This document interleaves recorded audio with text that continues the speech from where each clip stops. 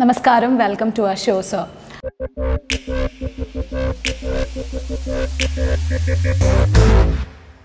the living legend അല്ലെങ്കിൽ one of the most demanded cinematographer of Indian film industry proudly having you here thank you so much for coming sir basically ഒരുപാട് busy schedules ഒക്കെ മാറ്റി വെച്ചിട്ടാണ് ഈ ഒരു ഇന്റർവ്യൂവിന് ഭാഗമായിരിക്കുന്നത്. അതിന് വലിയൊരു നന്ദി അറിയിക്കുന്നു. അപ്പോൾ sir arts college fine arts കോളേജിലെ സ്റ്റുഡന്റ് ആയിരുന്നു. ഫൈൻ ആർട്സ് കോളേജിൽ നിന്ന് പാസ് ഔട്ടായി Sarojini Naidu arts and communication college ഹൈദരാബാദിൽ പഠിച്ചു. From fine arts to visual media എങ്ങനെയാണ്? ഞാൻ ആക്ച്വലി പഠി പഠിച്ചത് അപ്ലൈഡ് ആർട്ട് എന്ന് പറയുന്ന ഒരു സംഭവം. അപ്ലൈഡ് ആർട്ട് എന്ന് പഠിക്കുന്ന ആൾക്കാർ ജനറലി അഡ്വർടൈസിങ് ഏജൻസിയിലൊക്കെ ജോലി എടുക്കാൻ പോയി അങ്ങനെ തിരിച്ചു വരും. അങ്ങ- അങ്ങനെ ആ ഒരു ലൈനിലുള്ളൊരു ഗ്രോത്താണ് അപ്പോൾ എനിക്ക് അന്ന് അന്ന് ലൈബ്രറിയിൽ കമ്മ്യൂണിക്കേഷൻ തിയറി എന്ന് പറഞ്ഞൊരു പുസ്തകം അന്ന് ലൈബ്രറിയിലുണ്ട്. അപ്പം അത് അതിനകത്ത് ഡീൽ ചെയ്യുന്നത് മനുഷ്യൻ എങ്ങനെയാണ് കമ്മ്യൂണിക്കേറ്റ് ചെയ്യുന്നത് രണ്ടുപേരും തമ്മിൽ പിന്നെ ഇൻട്രാ പേഴ്സണൽ നമ്മൾ ഉള്ളിലോട്ട് നമ്മൾ തന്നെ എങ്ങനെയാണ് നമ്മൾ നമ്മളുമായിട്ടുള്ള കമ്മ്യൂണിക്കേഷൻ അപ്പോൾ ആ പുസ്തകം എനിക്ക് വളരെ താല്പര്യമുണ്ടായിരുന്നു. അത് കഴിഞ്ഞിട്ട് ഞാൻ പഠിത്തം കഴിഞ്ഞിട്ട് ഒരു വർഷം ബറോഡയിൽ എം എഫ് ഐക്ക് പോയി അവിടുന്ന് ഡ്രോപ്പ് ഔട്ട് ചെയ്ത് തിരിച്ച് നാട്ടിൽ വന്നൊരു ചെറിയ ഏജൻസി നടത്തി കുറച്ച് നാൾ അത് കഴിഞ്ഞിട്ട് ഈ ഹൈദരാബാദിൽ ഇങ്ങനെ ഒരു എം എ ഇൻ കമ്മ്യൂണിക്കേഷൻ എന്ന് പറഞ്ഞൊരു കോഴ്സുണ്ട്. അപ്പോൾ ഞാൻ വിചാരിച്ചപ്പോൾ ഞാൻ എനിക്ക് ഇൻട്രസ്റ്റ് ഉള്ള ഇങ്ങനത്തെ സബ്ജക്റ്റുകളൊക്കെ ആയിരിക്കും. അപ്പോൾ കരിക്കുലൊക്കെ എടുത്ത് നോക്കിയപ്പോൾ അതുപോലെ തന്നെയാണ്. അപ്പോൾ അവിടെ ഇന്റർവ്യൂവിന് പോയിട്ട് അപ്പോൾ ഇന്റർവ്യൂവിൽ ചോദിച്ചിങ്ങനെ ടെസ്റ്റ് ഉണ്ടായിരുന്നു. ഒരു കുറേ പേര് ടെസ്റ്റ് എഴുതുന്നു ഇന്റർവ്യൂവിൽ ചോദിച്ചു ഇങ്ങനെ ഏഹ്, കു- കുറച്ച് പേര് ഇന്റർവ്യൂവിന് വരും. ഒരു ഒരു ആയിരത്തി ആയിരത്തഞ്ഞൂറ് പേര് എഴുതുന്നു. അപ്പോൾ ആ സമയത്ത് നമ്മളോട് ചോദിച്ചത് എങ്ങനെ ഇതിനകത്ത് ഇൻട്രസ്റ്റ് വന്നു? അപ്പോൾ അതിന് പുസ്തകത്തിന്റെ കാര്യം പറഞ്ഞു. ഞാൻ പുസ്തകം അവിടുത്തെ ടെക്സ്റ്റാണ് അപ്പോൾ അങ്ങനെ ഞാൻ വേറൊരു ലൈനിലോട്ട് കുറച്ചുകൂടെ അക്കാഡമിക് ആയിട്ടുള്ള എഡ്യൂക്കേഷനിലോട്ട് ഒരു രണ്ട് വർഷത്തേക്ക് മാറിയത് അങ്ങനെ. അതിൽ നിന്നാണ് ഞാൻ ഈ ഒരു ട്രാൻസിഷൻ കണ്ടത് സോ ആ ടെക്സ്റ്റ് ബുക്ക് ആണ് അതിനകത്തുള്ള കണ്ടന്റ് ആണ് താങ്കളെ അല്ലല്ല അത് നമ്മളൊരു പഠിത്തം നടന്നതിന് ഒരു കാരണം എന്നുള്ളതേ ഉള്ളൂ. നമ്മളിപ്പോഴും അല്ല പിന്നെ ഇത് ഇതൊരു ഇതൊരു ജേർണിയാണല്ലോ നമ്മൾ ഇപ്പോഴും നമ്മൾ പഠിച്ചുകൊണ്ടിരിക്കുക ആക്ച്വലി സോ താങ്കളെ ശേഷം ഡി ഡിയിൽ വർക്ക് ചെയ്തു ഇല്ല ഞാൻ ആക്ച്വലി വർക്ക് ചെയ്തിരുന്ന ടി വി എയ്റ്റീൻ എന്ന് പറഞ്ഞിട്ടൊരു പ്രൊഡക്ഷൻ ഹൗസിൽ അത് അന്നത്തെ ഒരു ചെറിയൊരു പ്രൊഡക്ഷൻ ഹൗസാണ് ഡൽഹി ബേസ്ഡ് ആയിട്ടുള്ള. അപ്പോൾ അവർ അന്നത്തെ ഇംഗ്ലീഷ് ടെലിവിഷന് വേണ്ടി കുറേ ഷോ ചെയ്യുന്നുണ്ട്. അവർ അമൂൽ ഇന്ത്യ ഷോ എന്ന് പറഞ്ഞിട്ട് സ്റ്റാറിലൊരു ഷോ ഉണ്ട് അവരുടെ. റിയാലിറ്റി പിന്നെ അവർ ആ അങ്ങനെ വെളിയിൽ നിന്നുള്ള ചാനലുകൾക്ക് വേണ്ടി ബി ബി സിയിൽ ഇന്ത്യ ബിസിനസ് റിപ്പോർട്ട് എന്ന് പറഞ്ഞിട്ടൊരു പ്രോഗ്രാം ഉണ്ട്. അങ്ങനെ കുറേ പ്രോഗ്രാം എം ടി വിയിലൊരു പ്രോഗ്രാം ഉണ്ട്. അങ്ങനെ അന്നുണ്ടായിരുന്ന എൽ ടി വി അതിലൊക്കെ ഓരോ പ്രോഗ്രാം ഉണ്ട്. അങ്ങനെ ഇതൊക്കെ പ്രൊഡ്യൂസ് ചെയ്യുന്ന ഒരു പ്രൊഡക്ഷൻ ഹൗസ് അപ്പോൾ ഞാൻ അവിടെ ഇൻ ഹൗസ് ക്യാമറമാനായിട്ട് അപ്പോൾ ആ സമയത്ത് ഞാൻ അസിസ്റ്റന്റ് ഡയറക്ടറാണ് പോയത് ബോംബെയിൽ. പക്ഷേ ഞാൻ കുറേ കുറേ ഫിലിം വേറെ ആൾക്കാർക്ക് വേണ്ടി ഷൂട്ട് ചെയ്തിട്ടുണ്ടായിരുന്നു ആ സമയത്ത്. അപ്പോൾ അതൊക്കെ കണ്ടിട്ട് ഒരു ഒരു കക്ഷി പറഞ്ഞ് നിങ്ങൾ ക്യാമറമാനായിട്ട് കുറച്ച് നാൾ വർക്ക് ചെയ്യുക. അങ്ങനെ ഞാൻ ക്യാമറമാനായിട്ട് തീർന്നു അത്രേ ഉള്ള സംഭവം. അപ്പോൾ ഞാൻ ഇതൊക്കെ ഷൂട്ട് ചെയ്യാൻ തുടങ്ങി ഈ ഷോകളൊക്കെ ഷൂട്ട് ചെയ്യാൻ തുടങ്ങി. പിന്നെ അത് കഴിഞ്ഞിട്ട് അത് അതിൽ നിന്ന് മാറിയിട്ട് ഇത് അതേ ജോലി തന്നെ ഫ്രീലാൻസ് ആയിട്ട് ചെയ്യാൻ തുടങ്ങി ആ ചാനലുകൾക്ക് വേണ്ടി. അപ്പോൾ അത് ഒത്തിരി ഒത്തിരി നല്ല നല്ല പൈസ കിട്ടുന്ന പണിയാണ്. ഒരു പ്രത്യേക സ്കില്ലുള്ള ആൾക്കാരെ വേണം അവർക്ക്. അങ്ങനെ അത് അത് കുറേ കാലം കണ്ടിന്യൂ ചെയ്തു. അത് കഴിഞ്ഞ് പിന്നെ ഈ ഷൂട്ടിങ്ങിൽ തന്നെ കുറച്ചുകൂടി ഇൻട്രസ്റ്റ് ആയിട്ടുള്ള ജോലികൾ ഈ A V tele shopping network അങ്ങനത്തെ സാധനങ്ങളൊക്കെ നമ്മൾ ആ അങ്ങനത്തെ സാധനങ്ങളൊക്കെ എടുത്ത് ഷൂട്ട് ചെയ്ത് തുടങ്ങി. അപ്പം അപ്പോൾ നമുക്ക് മനസ്സിലായി കുറച്ചുകൂടെ ക്വാളിറ്റിയുള്ള വർക്ക് എന്ന് പറയുന്നത് ഫിലിമിലെ വർക്കും അഡ്വർടൈസിങ്ങിലെ വർക്കും ഒക്കെയാണ്. ആ വർക്ക് നമുക്ക് ചെയ്യണമെങ്കിൽ നമുക്ക് ഫിലിം ഹാൻഡിൽ ചെയ്യാൻ അറിയണം. ഫിലിം എന്ന് പറയുന്ന മീഡിയത്തിൽ ഗ്രിപ്പ് വേണം. അത് ഫിലിം ഇൻസ്റ്റിറ്റ്യൂട്ടിൽ പോകാത്ത ആൾക്കാർക്ക് ഇത് ഇതിന് ഫോട്ടോ കെമിസ്ട്രി ഉണ്ട്. ഇതിന് ഒത്തിരി സയൻസിന്റെ ബലം വേണം. ഒരു വാസ്റ്റ് എക്സ്പീരിയൻസ് തന്നെ വേണം. അല്ല അല്ലെങ്കിൽ ആളെ ട്രസ്റ്റ് ചെയ്യില്ല. കാരണം അന്നത്തെ കാലത്ത് ഫിലിമിൽ ഷൂട്ട് ചെയ്യുന്ന ഒരു സാധനം പ്രിന്റ് ചെയ്ത് വരുന്ന വരെ ഇത് എങ്ങനെ ഷൂട്ട് ചെയ്തിരിക്കുന്ന ക്യാമറമാൻ മാത്രമേ അറിയത്തുള്ളൂ. അപ്പോൾ അതുകൊണ്ട് തന്നെ ആരും ട്രസ്റ്റ് ചെയ്യില്ല. അപ്പോൾ ഞാനിത് ഇനിയിപ്പോൾ ഒരു മാർഗം തന്നെ ഒരാൾ അസിസ്റ്റ് ചെയ്യുക അങ്ങനെയാണ് ഞാൻ രവി കെ ചന്ദ്രനെ അസിസ്റ്റ് ചെയ്യാൻ പോകുന്നത്. അങ്ങനെ രണ്ട് വർഷം രണ്ട് വർഷം പുള്ളി അസിസ്റ്റ് ചെയ്ത് ആ സമയം കൊണ്ട് ഞാൻ ഓൾറെഡി ഈ ചെറിയ വർക്കൊക്കെ ചെയ്യുന്ന ഡയറക്ടർമാർ അവർ ഫിലിമിൽ വേറെ പരസ്യങ്ങളൊക്കെ ചെയ്യുമ്പോൾ അപ്പോൾ എന്നെ വിളിക്കാൻ തുടങ്ങി. അങ്ങനെ വളരെ ഗ്രാജുവലായിട്ട് പക്ഷേ ആറ് ആറ് വർഷം ആറ് വർഷം കൊണ്ട് ഞാൻ അത് പടം ചെയ്തു. സോ ആ ഒരു എക്സ്പീരിയൻസിന്റെ പെർഫെക്ഷൻ സാറുടെ ഏത് മൂവി എടുത്തു കഴിഞ്ഞാൽ വളരെ കൃത്യമായിട്ട് കാണാൻ പറ്റുന്നുണ്ട്. ഒരുപാട് ഒരുപാട് ഇൻഫ്ലുവൻസ്ഡ് ആയിട്ടുള്ള മൂവീസ് ആ പക്ഷേ ഞാൻ ഞാൻ ഒത്തിരി ഒത്തിരി ഡോക്യുമെന്ററി അങ്ങനെ ഇങ്ങനെയൊക്കെ ആയിട്ട് ഒത്തിരി ഒത്തിരി റിയാലിറ്റി കണ്ടിട്ട് അതിന്റെ അതിന്റെ ഭംഗിയൊക്കെ കണ്ടിട്ട് ഇപ്പം എന്റെ വർക്കിനകത്തൊക്കെ ഒരു സോഴ്സിന്റെ റിയലിസം അത് ഇതൊക്കെ വരുന്നത് അങ്ങനെയുള്ള വർക്കിന്റെ ബാക്ക്ഗ്രൗണ്ടിൽ നിന്നാണ് പിന്നെ ഫംഗ്ഷനിങ് നോക്കുകയാണെങ്കിൽ നമ്മൾ ചെറുതായിട്ട് ഫംഗ്ഷൻ ചെയ്ത ആൾക്കാർക്ക് എങ്ങനെ വേണേൽ ഫംഗ്ഷൻ ചെയ്യാം. സ്കെയിൽ ഉണ്ടെങ്കിലും ഫംഗ്ഷൻ ചെയ്യാം സ്കെയിൽ ഇല്ലെങ്കിലും ഫംഗ്ഷൻ ചെയ്യാം എങ്ങനെ വേണേൽ ഫംഗ്ഷൻ ചെയ്യാം. അതൊക്കെ ആ ഒരു എക്സ്പീരിയൻസിന്റെ ബലം ഭയങ്കരമാണ്. അപ്പോൾ സാനു സാറുടെ യുനോ എക്സ്പീരിയൻസിൽ ഒരു ടേണിംഗ് പോയിന്റ് എന്ന് പറയുന്നത് വിശ്വരൂപം എന്ന മൂവിയാണ് ശരിക്കും പറഞ്ഞാൽ ഒരു വേൾഡ് റെക്കഗ്നേഷൻ ഒരു സ്പൈ ത്രില്ലർ മൂവിയിലൂടെ വേൾഡ് റെക്കഗ്നേഷനാണ് വിശ്വരൂപം ശരിക്കും പറഞ്ഞാൽ സമ്മാനിച്ചത് താങ്കൾക്ക്. You know it's it's been like a turning point for you actually Vishwaroop എനിക്ക് ആക്ച്വലി കരിയറിലെ ടേണിംഗ് പോയിന്റിനെക്കാട്ടിലും കൂടുതൽ എനിക്കൊരു ഒരു അപ്ഗ്രേഡാണ് അപ്ഗ്രേഡ് എന്ന് പറഞ്ഞാൽ നമ്മൾ ഈ ഞാൻ ആക്ച്വലി ഫിലിം ഇൻഡസ്ട്രിയിൽ നിന്ന് വരാത്തതുകൊണ്ട് തന്നെ ഫിലിം ഇൻഡസ്ട്രിയുടേതായിട്ടുള്ള ടെക്നിക്കുകൾ ട്രിക്കുകൾ പിന്നെ അതിന്റെ ഒരു ട്രഡീഷൻ ഉണ്ട്. ആ ട്രഡീഷനുമായിട്ട് ഞാൻ ആക്ച്വലി കട്ട് ഓഫ് ആയിരുന്നു സത്യം പറഞ്ഞാൽ. കാരണം രണ്ട് വർഷം ഒരാളെ അസിസ്റ്റ് ചെയ്ത് അത്ര ഒരു എക്സ്പീരിയൻസ് എനിക്കുള്ളൂ. ആൾക്കാർ ഒത്തിരി വർഷം you know the grow in the industry you know the basics D O P P's അതുകൊണ്ട് തന്നെ ആ ഒരു എക്സ്പീരിയൻസ് ഇപ്പോൾ കമൽ സാർ പോലെ ആളെടുത്തുനിന്ന് എനിക്ക് എനിക്ക് മുഴുവൻ അത് അത് കാണാൻ പറ്റി. പുള്ളിയുടെ തരം ട്രിക്കുകൾ പുള്ളി പുള്ളി അപ്രോച്ച് ചെയ്യുന്ന രീതികൾ അതൊക്കെ ഒരു അതിനകത്ത് ഒരു ട്രഡീഷനിൽ കൂടെ വളർന്നു വന്ന ഒരാളുടെ ബലമുണ്ട്. അയാൾ നാല് വയസ്സ് തൊട്ട് ഫിലിം ഇൻഡസ്ട്രി വർക്ക് ചെയ്യുന്ന ഒരാളാണ്. തീർച്ചയായിട്ടും. അദ്ദേഹം എല്ലാ അപ്ഡേറ്റഡ് ടെക്നിക്സിനെ കുറിച്ചും അല്ലാതെ എന്നെ സംബന്ധിച്ചിടത്തോളം ഞാൻ ഞാൻ എങ്ങനെയാണോ ചിന്തിച്ചിരുന്നത് അത് അത് മാറി കുറച്ചുകൂടെ ഒരു ഒരു ഒരു സിനിമയെ എങ്ങനെ അപ്രോച്ച് ചെയ്യണമെന്നൊക്കെ ഞാൻ മനസ്സിലാക്കുന്ന ആ പടം ചെയ്യുമ്പോഴാണ് സത്യത്തിൽ ഞാൻ അതിന് മുമ്പ് മൂന്നാൽ പടം ചെയ്തതാണ് സോ അദ്ദേഹത്തിന്റെ ഒരു movie actually it still in the box which is not yet released അതിനുശേഷമാണ് വിശ്വരൂപത്തിലേക്ക് ഒരു ടേണിംഗ് ആ അത് ഇത് മർമ്മയോഗി. മർമ്മയോഗി എന്ന് പറയുന്ന പടത്തിൽ വർക്ക് ചെയ്യാൻ വേണ്ടി ഞാൻ ആദ്യം കമൽ സാറിനെ കാണുന്നത്. ടൂ തൗസൻഡ് ടെൻ അല്ല? ടൂ തൗസൻഡ് സിക്സോ എന്തോ ആയിരുന്നു. ടൂ തൗസൻഡ് സെവൻ ആയിരുന്നു. ആ സമയത്ത് ഞാൻ കമൽ സാറിനെ കാണുന്നത്. അപ്പോൾ ഞങ്ങൾ അതിനുവേണ്ടി കുറേ പ്രെപ്പ് നടത്തുകയും കുറേ യാത്ര ചെയ്യുകയും അങ്ങനെ പിന്നെ ആ പടം നടക്കുന്നില്ല എന്ന് പറഞ്ഞിട്ട് അത് ഷെൽവ് ചെയ്ത് പോകണ്ടായത് സോ അതിനുശേഷമാണ് വിശ്വരൂപത്തിലേക്ക് വീണ്ടും അതിൽ പിന്നെ അത് കഴിഞ്ഞിട്ട് കമൽ സാർ ഡയറക്റ്റ് ചെയ്ത അത് അടുത്ത പടം വിശ്വരൂപമായിരുന്നു. അപ്പോൾ ആ സമയത്ത് തന്നെ വീണ്ടും വിളിച്ച് അങ്ങനെ സോ അദ്ദേഹം പോലത്തെ ഒരു ലെജൻഡറിയുടെ കൂടെ വർക്ക് ചെയ്യുമ്പോഴേക്ക് താങ്കൾക്ക് ഉണ്ടായ ലെസൺസ് എന്തൊക്കെയാണല്ലോ ഈ പഠിക്കാൻ പറ്റിയ ലെസൺസ് See, എന്തൊക്കെയാണ്?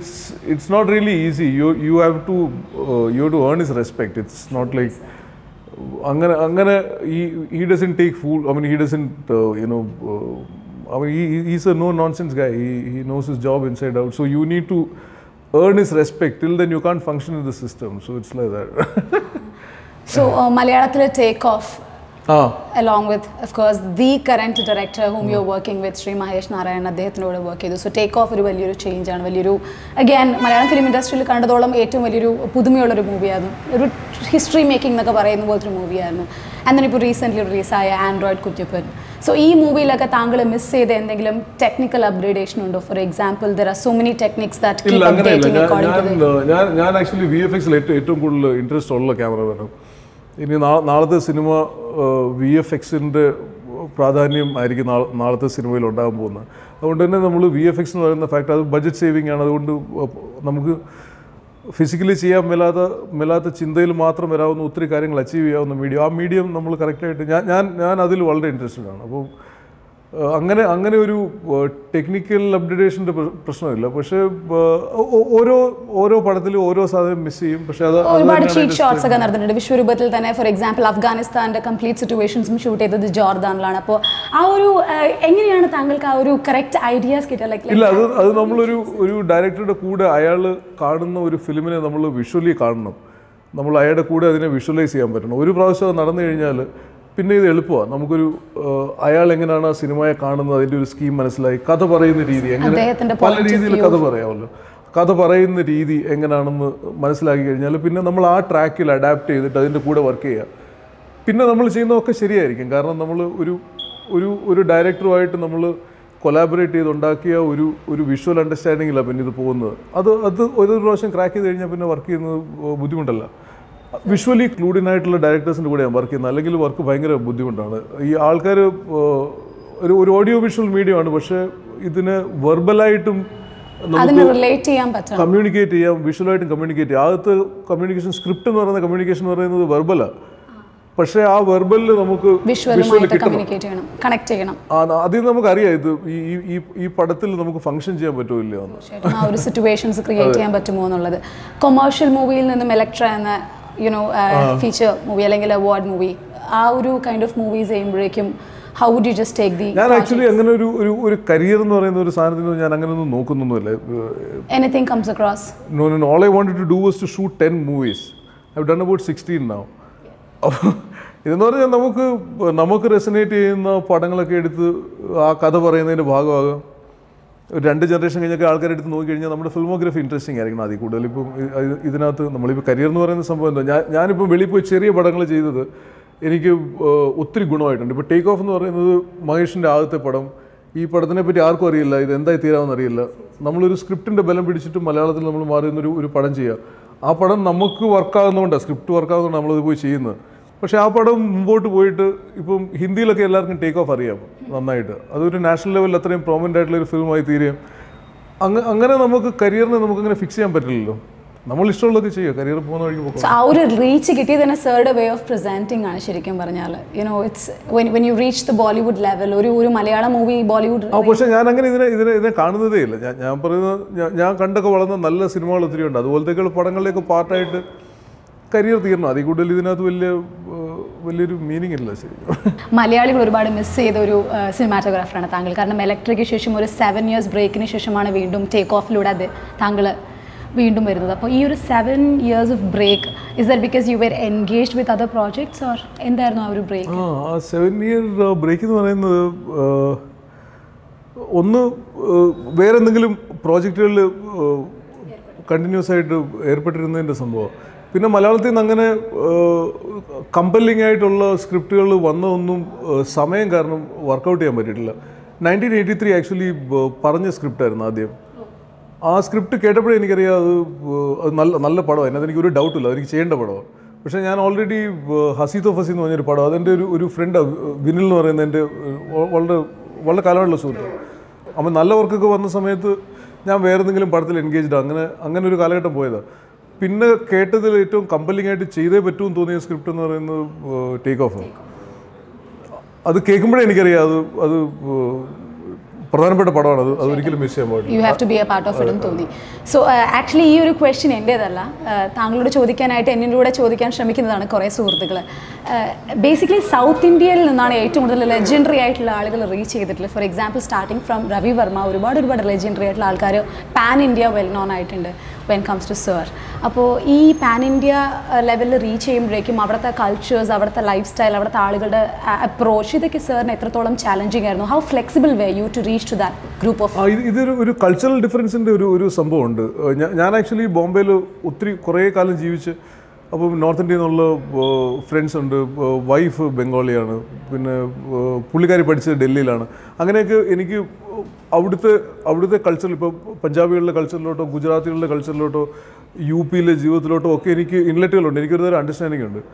പിന്നെ കോർ ഈത്തോസ് ഇന്ത്യയിൽ മൊത്തം നോക്കുകയാണെങ്കിൽ ഏതാണ്ട് ഒരു ഒരുപോലെ. ഇമോഷണലി വളരെ സിമിലറാണ് ഇമോഷണലി എക്സ്ട്രോവേർട്ടാണ് അത് നമ്മൾ കേരളത്തിൽ കാണുന്നതിന് വളരെ ഡിഫറെന്റാണ് ഇവിടുത്തെ ഇവി- ഇവിടെ ഇമോഷണലി അത്രയും ഓവേർട്ടല്ല മനുഷ്യർ ഈ അച്ഛൻ മകനെ കെട്ടിപ്പിടിച്ച് കരച്ചു എന്ന് പറയുന്ന സംഭവമൊക്കെ ഇവിടെ ഉണ്ടാകാറില്ല. അത് വളരെ റേറാണ് ഒരു പഞ്ചാബി ഫാമിലിയിലാണെങ്കിൽ ഹഗ് ചെയ്താണ് because joint family still exist അല്ലേ അവിടെ? അത് അത് ഒരു വേറെ തരം ഇമോഷണൽ എക്സ്പ്രഷൻ വേറെ രീതിയിലുള്ള ഒരു സൊസൈറ്റി ഇത് ഇത് പിടിച്ചു കഴിഞ്ഞാൽ നമുക്ക് ഇത് ഇത് മനസ്സിലാവും ആക്ച്വലി ബദായോ നോക്കുകയാണെങ്കിൽ ഇമോഷണലി മലയാളിക്ക് കുറച്ച് ഓവർട്ടായിട്ട് തോന്നാവുന്ന സംഭവം. പക്ഷെ അത് അവിടുത്തെ കൾച്ചറിന് വളരെ കറക്റ്റ് ആണ് താനും. പക്ഷെ അത് അത് അത് ഈ അത് ഈ ജേർണിയുടെ ഭാഗമാണ് ആക്ച്വലി. പല കൾച്ചറുകൾ മനസ്സിലാക്കുകയും സൊസൈറ്റികൾ മനസ്സിലാക്കുകയും ആൾക്കാരുമായിട്ട് ഇൻട്രാക്ട് ചെയ്യും. ഞാൻ പറയുന്നത് സിനിമാറ്റോഗ്രഫി എന്ന് പറയുന്ന ഒരു സംഭവം പക്ഷേ അൾട്ടിമേറ്റ്ലി നമ്മുടെ ഒരു പേഴ്സണൽ ഗ്രോത്ത് എന്ന് പറയുന്നത് ഇതിലൊക്കെയാണ്. അല്ലാതെ നമ്മൾ സിനിമാറ്റോഗ്രഫിയിൽ seriously you have to understand the basics only then our level പക്ഷേ ഇത് ഇത് ഇതാണ് ഇതിന്റെ അഡ്വാന്റേജ് എന്ന് പറയുന്നത്. ഇതൊക്കെ മനസ്സിലാക്കാനും കൂടെ പറ്റുന്നു എന്നുള്ളതാണ് ഇതിന്റെ. തീർച്ചയായിട്ടും. ഒരുപാട് കൾച്ചേഴ്സിലൂടെ പോയി വരാൻ പറ്റുന്നുണ്ട്. അതുപോലെ തന്നെ യു നോ ലെജൻഡറി ആയിട്ടുള്ള ആക്ടേഴ്സിന്റെ കൂടെയും യുനോ ഒഫീഷ്യൽസിന്റെ കൂടെ വർക്ക് ചെയ്യുമ്പോഴും ഫോർ എക്സാമ്പിൾ അമിതാഭ് ജിയുടെ കൂടെ വർക്ക് ചെയ്യുമ്പോഴും അതുപോലെ തന്നെ സൗത്ത് ഇന്ത്യയിലാണെങ്കിൽ കമൽ ഹാസൻ സർ മലയാളത്തിലാണെങ്കിൽ ഫഹദ് ഫാസിൽ ഇങ്ങനെ ഓരോ ക്യാരക്ടേഴ്സുമായിട്ട് താങ്കൾക്ക് എങ്ങനെ മേർജ് ചെയ്ത് ആക്ച്വലി ഒരു പ്രശ്നമല്ല. കാരണം ഇവരിലെല്ലാം ഒരു നോർമൽ ഹ്യൂമൻ ബീങ് ഉണ്ട്. ഞാൻ ഇവരോട് കൊലാബറേറ്റ് ചെയ്യുന്ന ഒരു ടെക്നീഷ്യൻ എന്നുള്ള നിലയിൽ എനിക്ക് ഇവർ എന്റെ കൂടെ കൊലാബറേറ്റ് ചെയ്യുന്ന ടെക്നീഷ്യന്മാരാണ് ഇവരുടെ സോഷ്യൽ സ്റ്റേജറോ ഫൈനാൻഷ്യൽ സ്റ്റേജറോ ആക്ച്വലി എനിക്ക് ബാധകമാകേണ്ട കാര്യമില്ല. ആ രീതിയിൽ ഇത് കണ്ടു കഴിഞ്ഞാൽ ഇത് ഒരു ഇന്റിമിഡേറ്റിംഗ് ഇഷ്യൂ അല്ല സത്യത്തിൽ. നമ്മുടെ ഫോക്കസ് ഇതിപ്പോൾ ഞാനതിന് എക്സാമ്പിളായിട്ട് പറയുന്നത് നമ്മൾ ഒരു ചോപ്പറിനകത്തൊന്ന് ഷൂട്ട് ചെയ്യുകയാണെങ്കിൽ ചോപ്പറിനകത്തൊന്ന് ഷൂട്ട് ചെയ്യുമ്പോൾ നമുക്ക് ഒരിക്കലും പേടി വരില്ല. അതേസമയം ചോപ്പറിനകത്ത് വെറുതെ ഇരിക്കുകയാണ് നമ്മൾ പേടിക്കും. കാരണം ഇത് ഇത് ബമ്പി റൈഡാണ് ഇത് ഇത് ഇതേ സംഭവം. നമ്മൾ വേറൊരു കാര്യത്തിൽ നമ്മുടെ നമ്മുടെ ഫോക്കസ് വേറെയാണെങ്കിൽ ഈ ഇഷ്യൂകൾ ഒരു സ്റ്റാർ സ്റ്റേച്ചറിന്റെ ഇഷ്യൂകൾ ഇതൊന്നും നമുക്ക് പ്രശ്നമാകുന്നില്ല. നമ്മളൊരു ഒരു കഥ പറയുന്നതിൽ കൊലാബറേറ്റ് ചെയ്യുന്ന ഒരു ആക്ടറാണ് അത് അൾട്ടിമേറ്റ്ലി സോ ആസ് ആങ്കർ പക്ഷേ അത് എന്റെ ജോലിയുടെ ഇടയിൽ വരാൻ പാടില്ല. തീർച്ചയായിട്ടും തീർച്ചയായിട്ടും. സോ എനിവേസ് ഇപ്പോൾ മലയാളത്തിൽ ഈ സെവൻ ഇയേഴ്സിന് ശേഷം വീണ്ടും ടേക്ക് ഓഫിലൂടെ വന്നു. ഇപ്പോൾ മലയാളത്തിൽ ഭയങ്കര സജീവമായിട്ടുണ്ട്. ഇപ്പോൾ മാലിക് വളരെ സക്സസ്ഫുള്ളി ഷൂട്ടിംഗ് നടന്നുകൊണ്ടിരിക്കുകയാണ്. ഒരുപാട് എക്സ്പെക്റ്റേഷൻ മലയാള പ്രേക്ഷകർക്കുണ്ട്. കാരണം യുനോ മലയാളത്തിൽ നല്ല നല്ല സിനിമകൾ വരിക എന്നുള്ളത് ഞങ്ങളുടെ ഏറ്റവും വലിയൊരു ആഗ്രഹമാണ്. So when you are working in it ആ ഒരു എക്സ്പെക്ടേഷൻ ലെവലിൽ ഒരു ഏറ്റവും ഇൻട്രസ്റ്റിംഗ് ആയിട്ടുള്ള സ്ക്രിപ്റ്റ് വരുന്നത് ഇപ്പോഴും മലയാളത്തിൽ നിന്നാണ്. ഞാനിപ്പോൾ ഈ ഈ- ഗ്യാപ്പിൽ കുറേ സ്ക്രിപ്റ്റുകൾ കേട്ടു. അതിനകത്ത് ഒന്ന് ഒന്നുപോലും ഇൻട്രസ്റ്റിംഗ് അല്ലാത്ത സ്ക്രിപ്റ്റ് ഇല്ല അതിൽ അതെല്ലാം ഇൻട്രസ്റ്റിംഗ് ആയിട്ടുള്ള സ്ക്രിപ്റ്റുകളാണ് പക്ഷെ അങ്ങനെ ഒരു സംഭവം നമുക്ക് വേറെ ഭാഷയിൽ നിന്ന് എനിക്ക് വരുന്നില്ല സത്യത്തിൽ. ഹിന്ദിയിൽ പറയാറുണ്ട് ബദായി ഒക്കെ നമ്മൾ അങ്ങനെ അങ്ങനെ വന്ന പടം. എന്റെ ഒരു ഫ്രണ്ടാണ് ഡയറക്റ്റ് ചെയ്തേക്കുന്നത്. പക്ഷേ ആ സ്ക്രിപ്റ്റ് നമ്മൾ ഒരു ഫോമിൽ കണ്ടിട്ട് പിന്നെ റീറൈറ്റ് ചെയ്ത് വീണ്ടും കണ്ട് ഇത് ഇൻട്രസ്റ്റിംഗ് ആയിട്ടുള്ള സിനിമ എന്നെ എന്നെയൊക്കെ സംബന്ധിച്ച് നോക്കുകയാണെങ്കിൽ എയ്റ്റീസിലൊക്കെ ഉണ്ടായിരുന്ന മിഡിൽ ക്ലാസ്സിൽ സെറ്റ് ചെയ്ത കുറേ മലയാളം സിനിമകളുടെയൊക്കെ ഒരു ചുവയുള്ള സിനിമ എവിടെയൊക്കെയോ. അങ്ങനെ നമ്മൾ ഇൻട്രസ്റ്റഡ് ആയിട്ട് പോയത് അതിനകത്ത് അത് അത് കറക്റ്റായിട്ട് ഇങ്ങനെ ഒന്നിന് പുറകെ ഒന്നായിട്ട് പടങ്ങൾ വരുന്നതുകൊണ്ടാണ് ഞാനിപ്പോൾ പടം ചെയ്തുകൊണ്ടിരിക്കുന്നത് അത് നിൽക്കുകയാണെങ്കിൽ ഞാൻ വീണ്ടും പരസ്യമൊക്കെ ചെയ്ത് അങ്ങനെ അങ്ങനെയൊക്കെ. Uh, വിശ്വരൂപത്തിലായിരുന്നു മഹേഷ് നാരായൺ സാറുടെ കൂടെ താങ്കൾ വർക്ക് ചെയ്തത്. എനിക്ക് മഹേഷ് അതിന് മുമ്പേ അറിയാം. നമ്മൾ നമ്മൾ അഡ്വർടൈസിംഗിൽ വർക്ക് ചെയ്യുന്ന സമയത്ത് മഹേഷ് എഡിറ്ററായിട്ട് വരാറുണ്ട് പലപ്പോഴും. സ്പോട്ട് എഡിറ്ററായിട്ട് എന്ന് പറഞ്ഞാൽ ഷൂട്ട് ചെയ്യുന്ന കൂട്ടത്തിൽ തന്നെ എഡിറ്റ് എഡിറ്റ് ചെയ്ത് പോകുന്ന എഡിറ്ററായിട്ട് അപ്പോൾ മഹേഷും ഞാനുമായിട്ട് അന്ന് കാരണം ചില സ്റ്റേജിലൊക്കെ ഞങ്ങൾ രണ്ടും കൂടെ ഒത്തിരി ഒത്തിരി വർക്ക് ചെയ്തിട്ടുണ്ട്. പുള്ളി എഡിറ്റ് എന്ന് പറയും ഒരു ചെറിയ ഷോട്ട് ഇവിടെ വേണം ഇങ്ങനെ ഒരു സാധനം അത് നമ്മൾ സെറ്റ് ചെയ്ത് എടുക്കും. അങ്ങനെ നമ്മൾ അങ്ങനെ വർക്ക് ചെയ്ത് പരിചയമുണ്ട്. അങ്ങനെ മഹേഷ് വിശ്വരൂപത്തിൽ വരുന്നത്. So, ആ മഹേഷുമായിട്ട് എനിക്ക് അതിലും അത്ര കാലത്തെ പരിചയമുണ്ട് അപ്പം ഒരു ഒരു എഡിറ്ററിൽ നിന്നും ഒരു ഡയറക്ടർ കാറ്റഗറിയിലേക്ക് മാറുമ്പോൾ അദ്ദേഹത്തിൽ ഉണ്ടാവുന്ന മാറ്റങ്ങൾ താങ്കളെ ആ ഇത് ഇത് അങ്ങനെയല്ല ഇത് ഇത് രണ്ട് തരം ടെക്നീഷ്യൻ ഉണ്ടാകും. ടെക്നിക്കാലിറ്റി മാത്രം കെയർ ചെയ്യുന്ന ടെക്നീഷ്യൻ ഉണ്ടാകാം. കഥ പറച്ചിൽ ഇൻട്രസ്റ്റ് ഉള്ള ടെക്നീഷ്യൻ ഉണ്ടാകും. മഹേഷ് കഥ പറച്ചിൽ ഇൻട്രസ്റ്റ് ഉള്ള ടെക്നീഷ്യനാണ് ഞാൻ കഥ പറച്ചിൽ ഇൻട്രസ്റ്റ് ഉള്ള ടെക്നീഷ്യനാണ് അപ്പോൾ ഞാൻ പറഞ്ഞു എനിക്കത് സിനിമാറ്റോഗ്രഫിക്ക് ഒരുപടി അപ്പുറമാണ് മഹേഷിനും അത് ഒരു എഡിറ്റർ എന്നുള്ള നിലയിൽ ഷോ ഓഫ് ചെയ്യുന്നതിനും അപ്പുറമാണ് കഥ കൺവേ ചെയ്യുക എന്നുള്ളത്. അപ്പോൾ ആ കൺസേൺ ഉണ്ടെങ്കിൽ നമ്മുടെ കൺസേൺ അതാണെങ്കിൽ അങ്ങനത്തെ കൊലാബറേഷനുകൾ ഈസിയാണ് മഹേഷ് നല്ല വിഷ്വലായിട്ടുള്ള ഡയറക്ടറാണ് പുള്ളിക്ക് കറക്റ്റായിട്ട് എല്ലാ എല്ലാം നമ്മൾ ഒരു നറേഷനിൽ നമുക്ക് വിഷ്വലി അത് നമുക്ക് കൺവേ ചെയ്യുന്നുണ്ട് കറക്റ്റായിട്ട് പിന്നെ അത് അത് ഈസിയാണ് വളരെ ഭംഗിയായിട്ട് റിലേറ്റ് ചെയ്യാൻ പറ്റും അതെ അതെ അതെ അതെ. നമ്മൾ പോയി വഴക്കുണ്ടാറില്ല നമ്മൾ വഴക്ക് വഴക്കുണ്ടായിരുന്നു പക്ഷേ അതെ അതെ. പക്ഷേ വർക്ക് വർക്കിന് വർക്കിന് വേണ്ടിയുള്ള. എന്ന് പറഞ്ഞാൽ ഇത് ഇങ്ങനെ പറയുന്നതാണ് ശരി അങ്ങനെ അഭിപ്രായ വ്യത്യാസങ്ങളും അത് അതോട് അനുയോജിച്ച് പോകാനായിട്ടുള്ള. അപ്പോൾ ഈ ഒരു ഒരുപാട് ഹിറ്റ് സിനിമകൾ മലയാളം സമ്മാനിച്ചിട്ടുണ്ട്. ഇപ്പോൾ ഫോർ എക്സാമ്പിൾ ടേക്ക് ഓഫ് ആണെങ്കിലും ആൻഡ്രോയിഡ് കുഞ്ഞപ്പനാണെങ്കിലും ഇപ്പോൾ മാലിക് അത് ഒരു ഹിറ്റ് ആയിരിക്കുമോ? എന്താണ് മാലിക്കിനെ കുറിച്ച് മാലിക് ഡെഫിനറ്റ്ലി ഹിറ്റ് ആയിരിക്കും. എനിക്കൊരു ഡൗട്ടും ഇല്ല എന്താണ് മാലിക്? Who is Malik? എന്താണ് മാലിക്? ഇത് ഇത് ഇത് ഇൻട്രസ്റ്റിംഗ് ആയിട്ടുള്ള ഒരു പൊളിറ്റിക്കൽ ഡ്രാമയാണ് ലൈഫിന്റെ നല്ല ടച്ചുള്ള സിനിമയാണ്. പഴയകാലത്ത് നമ്മൾ I V Sasi T Damodaran പടങ്ങളുടെയൊക്കെ ഒരു സബ്ജക്റ്റ് മാറ്ററിലൊക്കെ എവിടെയോ അതിന്റെ ഒരു ഒരു ഒരു മണമുണ്ട് ഇതിന്. പക്ഷേ പുതിയ പടമാണ്. മോഡേൺ ഫിൽം മേക്കിംഗ് ആണ്. വളരെ ബ്യൂട്ടിഫുൾ ആയിട്ടുള്ള പടമാണ്. സോ പെർഫോമൻസ് ചെയ്ത എല്ലാ പ്രോജക്ട്സിലെ ജോണേഴ്സിനേക്കാളും തികച്ചും വ്യത്യസ്തമായിട്ടുള്ള ഒരു ജോണർ ആണോ? അല്ലെങ്കിൽ എവിടെയെങ്കിലും റിലേറ്റ് ചെയ്യാൻ ഈ ഈ- ഈ ഈ പടത്തിൽ നമ്മൾ ഈ കഥയെ ട്രീറ്റ് ചെയ്തേക്കുന്നത് വളരെ വളരെ ഇൻട്രസ്റ്റിംഗ് ആയിട്ട് അത് അത് സിനിമ ഇറങ്ങി കഴിയുമ്പോൾ ഞാൻ പറയാം. അത് അതൊരു ഒരു വിഷ്വൽ സംഭവം അത്. പക്ഷേ ഒരു ഒരു സിനിമയിലെ ഒരു കഥ നടക്കുന്ന ഒരു സ്ഥലത്തിനെ പറ്റിയുള്ള അതിന്റെ അതിന്റെ ജോഗ്രഫിയെ പറ്റിയുള്ള ഡീറ്റെയിലുകൾ അത് സിനിമയ്ക്കുള്ളിൽ കൊണ്ടുവരിക എന്ന് പറയുന്നത് ഇപ്പം ആ സ്ഥലങ്ങളിലൊക്കെ ഉള്ള ക്യാരക്ടേഴ്സിന്റെ സീൻ നടക്കുമ്പോൾ നമുക്ക് ചുറ്റുപാടൊക്കെ ഓർമ്മ വരണം. അതുപോലെ പടം ചെയ്തേക്കുന്നത്. അത് ആദ്യമായിട്ടാണ് ഞാൻ അങ്ങനെ അത്രയും ഈ ഭൂപ്രകൃതിക്ക് പ്രാധാന്യം കൊടുക്കുന്ന ഒരു ഒരു പടം കാണുന്നത്. പക്ഷേ ആൾക്കാരുടെ കഥയാണ് ക്ലോസപ്പുകളിലൊക്കെ ഒത്തിരി ഓടുന്ന കഥയാണ് പക്ഷേ ഇത് ഇത് ഇതുണ്ട് അതിനകത്ത്. ഒരുപാട് ട്രാവൽ ചെയ്തിട്ടുണ്ട്. All across the world for example വിശ്വരൂപത്തിന് വേണ്ടി അഫ്ഗാനിസ്ഥാനൊക്കെ ട്രാവൽ ചെയ്തിട്ടുണ്ട്. ഞാൻ അല്ലാതെ അല്ലാതെ ട്രാവൽ ചെയ്യാറുണ്ട് ഞാൻ ഇടയ്ക്ക് പണിയൊക്കെ നിർത്തി വെച്ചിട്ട് എങ്ങനെയാണ് പെട്ടെന്ന് അഫ്ഗാനിസ്ഥാനെ ജോർദാനിൽ കൊണ്ടുവരുന്നത് പോലെ ഒരു ഓൾട്ടർനേറ്റീവ് ചീറ്റിംഗ് പ്ലേസ് എങ്ങനെ കണ്ടുപിടിക്കാൻ പറ്റുന്നു? അത് അത് അത് ആക്ച്വലി ലോജിസ്റ്റിക്സ് അൾട്ടിമേറ്റ്ലി ഈ മിഡിൽ ഈസ്റ്റിലെ ഡെസേർട്ട് ലാൻഡ്സ്കേപ്പ് വളരെ കുറച്ച് സ്ഥലങ്ങളിൽ നമുക്ക് ചീപ്പായിട്ട് ഷൂട്ട് ചെയ്യാൻ പറ്റത്തുള്ളൂ. ഇപ്പോൾ നമ്മൾ എമിറേറ്റ് സൈഡിലൊക്കെ പോയി കഴിഞ്ഞാൽ ഭയങ്കര എക്സ്പെൻസീവാണ് ഷൂട്ട് ചെയ്യാനായിട്ട്. ജോർഡൻ അതിന് കണ്ട്യൂസീവ് ലാൻഡ്സ്കേപ്പിന്റെ ടെക്സ്ചർ വേറെയാണ് ഇൻഫാക്ട് ഡെസേർട്ടിന്റെ കളർ മാറ്റമാണ്. പക്ഷേ അത് വർക്കബിൾ ആണ് അത്ര ഇറാഖിലെ ഹോസ്പിറ്റൽ കല്ലൂരിലെ ഹോസ്പിറ്റലാന്ന് പറയുന്നതായിരുന്നു ഏറ്റവും വലിയൊരു ടേണിംഗ് പോയിന്റ് ഞാൻ ഇന്റർവ്യൂവിൽ ചെയ്തൊരു സ്റ്റഡിയിൽ മനസ്സിലാക്കാൻ പറ്റിയത്.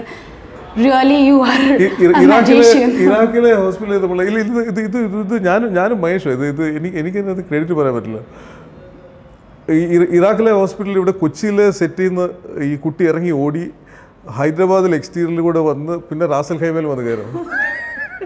അത് ഭയ- ഭയങ്കര സീംലെസ് ആയിട്ട് എന്ന് പറഞ്ഞാൽ ചിന്തിക്കാൻ മേലാത്ത രീതിയിൽ മാച്ച് ചെയ്ത് പോയിട്ടുണ്ട്. അതാ ഞാൻ പറയുന്നത് അത് അത് കഥ പറച്ചിലിന്റെ രീതിയാണ് ഒരു ക്ലൂ പോലും പ്രേക്ഷകർക്ക് കിട്ടുന്നില്ല basically we are like right there in Iraq അല്ല അതിനകത്ത് ഒത്തിരി കാര്യങ്ങൾ അങ്ങനെ സിനിമ ട്രിക്കുകൾ അതൊക്കെ. ഒരു കഥ പറച്ചിലിൽ കാലാകാലങ്ങളായിട്ടുള്ള സിനിമ ട്രിക്കുകൾ അത് അതൊക്കെ അതിന്റെ ഒരു- ഒരു ഒരു ഒരു ഇന്റർപ്രിട്ടേഷൻ അത്രേ ഉള്ളൂ. So but that was really beautifully made അപ്പോൾ ഓരോ സാറുടെ പ്രസൻസ് വളരെ ഭംഗിയായിട്ട് എല്ലാത്തിലും കാണാൻ പറ്റുന്നുണ്ട് ക്യാമറ കയ്യിലെടുത്തിരിക്കല്ലേ അനങ്ങുന്നതെല്ലാം ഞാനല്ലേ? സോ ഈ എല്ലാ മാസ് മൂവീസിന് ശേഷം ലൈക്ക് അല്ലെങ്കിൽ ഈ ഒരു എല്ലാ മാസ് മൂവീസിലെ ജേർണിയിലൂടെ ആൻഡ്രോയിഡ് കുഞ്ഞപ്പം എന്നൊരു മൂവിയിലേക്ക് താങ്കൾ എത്തിയപ്പം ആ മൂവിയുടെ കംപ്ലീറ്റ് ജോണർ തന്നെ മാറി. ഒരു നാട്ടുംപുറം പശ്ചാത്തലം പ്രകൃതി പറമ്പ് ഒരു സാധാരണ കുടുംബം. സോ ഈ ഒരു മൂവി ചെയ്യുമ്പോഴേക്കും താങ്കൾക്ക് ഉണ്ടായ ഒരു എക്സ്പീരിയൻസ് എങ്ങനെയായിരുന്നു? ഹൗ ഡിഡ് യു ആൻഡ്രോയിഡ് എനിക്ക് പല ലെവലിൽ പല ലെവലിൽ വർക്കായൊരു ഫിലിം രതീഷ് ഞാൻ ഒത്തിരി ഒത്തിരി കാലമായിട്ട് സുഹൃത്തുക്കളാണ് രതീഷ് ഒരു സുമിത് ബസു എന്ന് പറഞ്ഞൊരു ആർട്ട് ഡയറക്ടറുടെ അസിസ്റ്റന്റ് ആയിട്ട് വർക്ക് ചെയ്യുന്ന കാലത്ത് അപ്പം സെറ്റ് പുള്ളി ഏൽപ്പിച്ചിട്ട് ഇയാൾ പോകും അപ്പോൾ ഞാൻ ഞാൻ ക്യാമറമാൻ പിന്നെ ഇങ്ങനെ അങ്ങനെ നമ്മൾ തമ്മിൽ പിന്നെ മലയാളം കൃത്യമായിട്ട് മലയാളം പറയുന്ന ആൾക്കാർ എനിക്ക് അധികം കിട്ടാറില്ല ബോംബെയിൽ. അപ്പോൾ അങ്ങനെ ഈ നാട്ടുംപുറത്തുകാരും മലയാളികൾ ഞാനൊരു നാട്ടുംപുറത്തുകാരൻ മലയാളിയാണ് അപ്പോൾ നാട്ടുംപുറത്തുകാർ മലയാളം കേട്ട് കഴിഞ്ഞാൽ പിന്നെ ഇംഗ്ലീഷില്ല പിന്നെ മലയാളമായി ഹിന്ദിയില്ല മലയാളമായി. അപ്പോൾ അങ്ങനെ ഞാൻ രതീഷുമായിട്ടുള്ള പരിചയം. അപ്പോൾ രതീഷ് കുറേ കാലങ്ങളായിട്ട് കുറേ കഥകൾ പറയുന്നുണ്ട് എന്നോട് ചെയ്യാനായിട്ട്. അപ്പോൾ നമ്മളതിന് കുറുക്കുകയും തിരുത്തുകയൊക്കെ ചെയ്ത് അങ്ങനെ ഇത് പോയിക്കൊണ്ടിരിക്കുക അങ്ങനെ ഒരു സ്റ്റേജിൽ ഈ ആ പടം പ്രൊഡ്യൂസ് ചെയ്തിരിക്കുന്ന എന്റെ സ്കൂളിലെ ഒരു ക്ലാസ്മേറ്റാണ് സന്തോഷ് ശുക്രുള്ള എന്ന് പറയുന്ന ആൾ അപ്പോൾ ഇത് വർക്കാനായിട്ട് ഞാൻ സന്തോഷ് ഗുരുവിളെ വിളിച്ചിട്ട് ഇങ്ങനെ ഇത് സംഭവം ഇങ്ങനെ ഒരു പടമുണ്ട്. അപ്പോൾ നിനക്ക് കൺവിഷൻ ഉണ്ടോ? ഞാൻ പറഞ്ഞു എന്റെ കണക്കിൽ നല്ല പടമാണ് പക്ഷേ നീ ഷൂട്ട് ചെയ്യണം. അങ്ങനെ ഞാൻ പറഞ്ഞു ഞാൻ ഷൂട്ട് ചെയ്യും. രതീഷിന്റെ പടം നമ്മൾ ഷൂട്ട് ചെയ്യും. അങ്ങനെ അങ്ങനെ വന്ന് പെട്ടിയൊരു പടം അത്. അത് പക്ഷേ ഒരു എനിക്കൊക്കെ ചെറുപ്പത്തിലുണ്ടായിരുന്ന ഒരുതരം മിഡിൽ ക്ലാസ് മലയാളി ജീവിതത്തിന്റെ ഒത്തിരി ഒത്തിരി ഈതോസ് ആ പടത്തിനകത്തുണ്ട് ഈ റിലേഷൻഷിപ്പുകളിൽ അങ്ങനെ സ്ക്രിപ്റ്റ് ആ ഒരു ലെവലിൽ എനിക്ക് ഭയങ്കരമായിട്ട് റിലേറ്റ് ആവുന്ന സ്ക്രിപ്റ്റായിരുന്നു ഒരു ചെറിയ പടം അധികം സ്പെൻഡ് ചെയ്യാനും പൈസ ഇല്ല. പക്ഷേ നല്ലൊരു കഥ പറയാനുണ്ട്. പിന്നെ ഇടയ്ക്കിടയ്ക്ക് വളരെ ചെറിയ പടങ്ങളിൽ പോയി വർക്ക് ചെയ്താലേ നമ്മുടെ കയ്യിൽ ആക്ച്വലി എന്തുണ്ടെന്ന് അറിയത്തുള്ളൂ. നമ്മൾ സ്കെയിലിൽ മാത്രം വർക്ക് ചെയ്യണം. ഇപ്പോൾ നമ്മൾ ജേഴ്സി ഒക്കെ ചെയ്യുന്ന സമയത്ത് എന്ത് എന്ത് ചോദിച്ചാലും ഉണ്ട്. ലൈറ്റ് ചോദിച്ചാൽ ലൈറ്റ് ഉണ്ട്. ജിബ് ചോദിച്ചാൽ ജിബ് ഉണ്ട്. ഡോളി ചോദിച്ചാൽ ഡോളി ഉണ്ട്. അപ്പോൾ എന്റെ ടീമെല്ലാം മുഴുവൻ ബോംബെയിൽ നിന്ന് വന്ന് ഇവിടെ വർക്ക് ചെയ്യാം. അത്രയും ഇതുണ്ട്. അത് അത് ചെയ്ത് കഴിഞ്ഞിട്ട് ഒരു വളരെ ചെറിയ പടം ചെയ്യണം. എന്നാൽ നമ്മുടെ കയ്യിൽ ആക്ച്വലി എന്തുണ്ട്? നമുക്ക് ഫണ്ടമെന്റൽസ് ഒക്കെ കറക്റ്റ് ആണോ എന്നൊക്കെ അറിയാനായിട്ട് ചെക്ക് ആണ്. അങ്ങനെ ചെറിയ പടങ്ങൾ ചെയ്തുകൊണ്ടിരിക്കുന്നത് ഇടയ്ക്കിടയ്ക്ക്. Exactly so you have to focus on both sides actually അപ്പോൾ പിന്നെ? പുതിയ വോയിസുകൾ ഇപ്പം രതീഷിന് ഒരു യുണീക്ക് വോയിസാണ് രതീഷിന് എല്ലാത്തിനും ഒരു കുസൃതി കലർന്ന ഒരു ടേക്ക് ഉണ്ട് രതീഷിന് എല്ലാ കാര്യം അത് അത് അയാളുടെ പേഴ്സണാലിറ്റിയിലുള്ള അയാളുടെ റിയൽ ലൈഫിൽ അങ്ങനെ. അപ്പം ഒരു ഞാൻ ഞാൻ ചെയ്ത മിക്കവാറും പടങ്ങൾ ഫസ്റ്റ് ടൈം ഡയറക്ടേഴ്സിന്റെ കൂടെയാണ് അപ്പോൾ ഒരു ഫസ്റ്റ് ടൈം ഡയറക്ടർ ഇവിടെ വർക്ക് ചെയ്യുമ്പോൾ അയാൾ അത് അത് മഹേഷു എന്റെ ഒരു ഫസ്റ്റ് ടൈം ഡയറക്ടറാണ് അപ്പോൾ ഒരു ഫസ്റ്റ് ടൈം ഡയറക്ടർ ഇവിടെ വർക്ക് ചെയ്യുമ്പോൾ നമ്മൾ അയാളിലെ ഒരു ഒരു കോർ അപ്രോച്ച് ടു ലൈഫ് ഉണ്ട്. അതിനെ നിരുത്സാഹപ്പെടുത്താതെ സിനിമയുടെ വലിയ ടെക്നിക്കാലിറ്റികളൊക്കെ ഉപയോഗിച്ച് അവരെ അതിൽ നിന്ന് നിരുത്സാഹപ്പെടുത്താതെ ആ ഒരു ആ ഒരു ഫാക്ടറിനെ നമ്മൾ മുമ്പിൽ വരാൻ സഹായിക്കണം. ഇപ്പം രതീഷിന്റെ ഒരു സെർട്ടൺ കൈൻഡ് ഓഫ് ഹ്യൂമർ ഉണ്ട്. അത് അയാൾ പബ്ലിക്കിൽ വെച്ചിട്ട് അത് പബ്ലിക് അക്സെപ്റ്റ് ചെയ്യുകയോ റിജക്ട് ചെയ്യുകയോ ചെയ്തില്ലെങ്കിൽ ഇയാൾക്ക് മുമ്പോട്ട് പോക്കില്ല. തീർച്ചയായിട്ടും. അല്ല കോൺഫിഡൻസ് നഷ്ടപ്പെടേണ്ട സാധനമാണെങ്കിൽ അത് നഷ്ടപ്പെടണം. അത് പക്ഷേ പബ്ലിക്കിന്റെ മുമ്പിൽ വെച്ച് നമ്മൾ അറിഞ്ഞിരിക്കണം. എന്നാലേ നമുക്ക് അറിയാൻ പറ്റത്തുള്ളൂ ഇത് അത് അതിനിടെ ഞാൻ കയറി വേറെ ഐഡിയകളൊക്കെ ചിലവാക്കി അത് നശിപ്പിച്ചു കഴിഞ്ഞാൽ പിന്നെ ഇത് പോയിന്റ്ലെസ് ആയി തീരും. അപ്പോൾ അത് ആ- ഒരു ചലഞ്ച് ഉണ്ട് എപ്പോഴും ഒരു ഫസ്റ്റ് ടൈം ഡയറക്ടറോട് വർക്ക് ചെയ്യുന്നതിനകത്ത്. Oh, you have to leave them the way they are. On the same time you time, with you lot of handle be it, handle it with a lot of love. It, it, it's not like uh, it's Yeah. not easy. Debut directors are sometimes sensitive uh, on that particular point. അല്ല അത് മാത്രമല്ല ഒത്തിരി ഒത്തിരി ടെക്നിക്കാലിറ്റികളുള്ള ഉള്ള ഒരു മീഡിയമാണ് ഇത് ഇതിനകത്ത് ഒത്തിരി ഒത്തിരി ഗ്രാമറിന്റെ പ്രശ്നങ്ങൾ അതായത് So you're a person of so much of love, compassion, and you know അല്ലാതെ appreciate. വേറൊരു മാർഗമില്ല അല്ലെങ്കിൽ നമ്മൾ നമ്മൾ സിനിക്കലായി ചത്തുപോകും That's nice, actually. That's truly great indeed. Um, so uh, ഇത്രയും മൂവീസ് ഒക്കെ ചെയ്ത എക്സ്പീരിയൻസ് ഒരുപാട് ഡെബ്യൂ ഡയറക്ടേഴ്സിന്റെ കൂടെ വർക്ക് ചെയ്തിട്ടുണ്ട്. ഡെബ്യൂ ഡയറക്ടേഴ്സിനെ സപ്പോർട്ട് ചെയ്യുന്നുണ്ട്. സോ ഈ ഡെബ്യൂ ഡയറക്ടേഴ്സിനോട് ചെറിയൊരു ഒരു അപ്രോച്ച് താങ്കളുടെ ഉള്ളിലുണ്ടെങ്കിൽ I think you can also become a director എന്നുള്ളൊരു ചെറിയൊരു ടേസ്റ്റ് എവിടെയോ ഇല്ല തോന്നുന്നു ഞാൻ- ഞാൻ ആക്ച്വലി കുറേ കാലമായിട്ട് എഴുതുന്നുണ്ട്. അത് അതിന്റെ പ്രോസസ്സൊക്കെ നടക്കുന്നുണ്ട്. പക്ഷേ ഇതിന് പറ്റിപ്പോയ പ്രശ്നം എന്ന് പറഞ്ഞാൽ എഴുത്ത് തുടങ്ങിയ സമയം തൊട്ട് വളരെ ഇൻട്രസ്റ്റിംഗ് ആയിട്ടുള്ള പ്രോജക്റ്റുകളാണ് വരുന്നത്. ഒന്നും കളയാൻ മേലാത്ത എന്നാൽ ഇതുകൂടെ ചെയ്തിട്ട് പോവാം എന്നാൽ ഇതുകൂടെ ചെയ്തിട്ട് പോവാം എന്ന് പറഞ്ഞാൽ അങ്ങനെ ഞാനിങ്ങനെ പൊയ്ക്കൊണ്ടിരിക്കുകയാണ്. എവറി പ്രോജക്റ്റ് വരുന്നതെല്ലാം ഭയങ്കര ഇൻട്രസ്റ്റിംഗ് ആണ്. ഇൻട്രസ്റ്റിംഗ് ആയിട്ടുള്ള. പടങ്ങളാണ്. എല്ലാം എത്തണമെന്ന് ആഗ്രഹിക്കുന്ന നമ്മളൊരു ഒരു ക്യാമറമാൻ എന്നുള്ള നിലയിൽ ചെയ്യാനായിട്ട് ഇൻട്രസ്റ്റിംഗ് ആയിട്ടുള്ള എന്ന് എന്ന് പ്രതീക്ഷിക്കാം സാറിന് ഒരു ഡയറക്ടറായിട്ട് ആ ഞാൻ ഇപ്പൊ എല്ലാ വർഷവും ചോദിച്ചാൽ അടുത്ത വർഷം എന്ന് പറയാം അങ്ങനെ. ഒരു വർഷം എനിക്ക് എടുത്ത് മാറ്റി വെക്കാനായിട്ട് കിട്ടണം അതാണ് വേണ്ടിയത്. അതിൽ വർക്ക് ചെയ്യാൻ വേണ്ടി. സോ എന്തായാലും സാറിനൊരു ഒരു ഡയറക്ടറായിട്ട് എത്രയും വേഗം ഞങ്ങൾ എക്സ്പെക്ട് ചെയ്യുന്നുണ്ട് ഫിലിം ഇൻഡസ്ട്രിയിൽ because you being a cinematography you always been a perfect person in it so obviously as a director I'm pretty sure that താങ്കളുടെ എക്സ്പീരിയൻസും താങ്കളുടെ കംപ്ലീറ്റ് ടാലന്റും എല്ലാം പുട്ടിൻ ചെയ്തൊരു നല്ലൊരു മൂവി ഞങ്ങൾ എക്സ്പെക്ട് ചെയ്യുന്നുണ്ട്.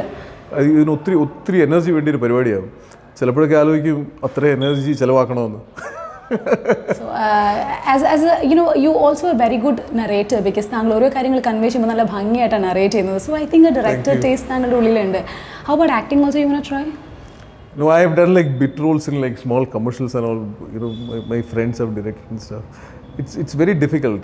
Uh, ഈ ഓവർ ആക്ടിംഗ് ഒക്കെ ആണെങ്കിൽ ചെയ്യാൻ എളുപ്പമാണ് അല്ലാതെ ഒരു ഒരു സട്ടിലായിട്ടൊക്കെ പെർഫോം ചെയ്യണമെങ്കിൽ ഭയങ്കര ബുദ്ധിമുട്ടാണ് അത്ര അത്രയും അണ്ടർസ്റ്റാൻഡിങ് വേണം. മുഖത്ത് എന്താ വരുന്നതെന്ന് മുഖം കാണാതെ അറിയാൻ പറ്റണം. ഒത്തിരി ഒത്തിരി കാര്യങ്ങൾ ഒരേ സമയം മൾട്ടി ടാസ്ക് ചെയ്ത് ചെയ്യാൻ പറ്റണം. വളരെ കോംപ്ലിക്കേറ്റഡ് ആയിട്ടുള്ള ആർട്ടാണ്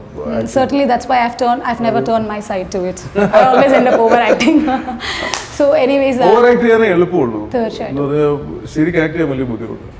ടു ബി ട്രൂ അല്ലേ അപ്പോൾ തീർച്ചയായിട്ടും legends are really great indeed അപ്പോൾ മാലിക് എന്ന മൂവിയിൽ ഒരുപാട് എക്സ്പെക്ടേഷൻസ് ഉണ്ട് as you set it's gonna be a perfect outcome അപ്പോൾ എന്തായാലും ആ ആ ഒരു മൂവിയുടെ പ്രതീക്ഷകളിലേക്ക് ഞങ്ങൾ എല്ലാവരും കാത്തിരിക്കാം and thank you so very much for coming for this interview താങ്കളുടെ. Heart open ചെയ്തതിലും you been so true and so open thank you so very much so all the very best for Malik and all the very best for the future director in you and we hope to see you in more heights again and again. Thank you Thank so you. much sir, Thank for coming. Thank you.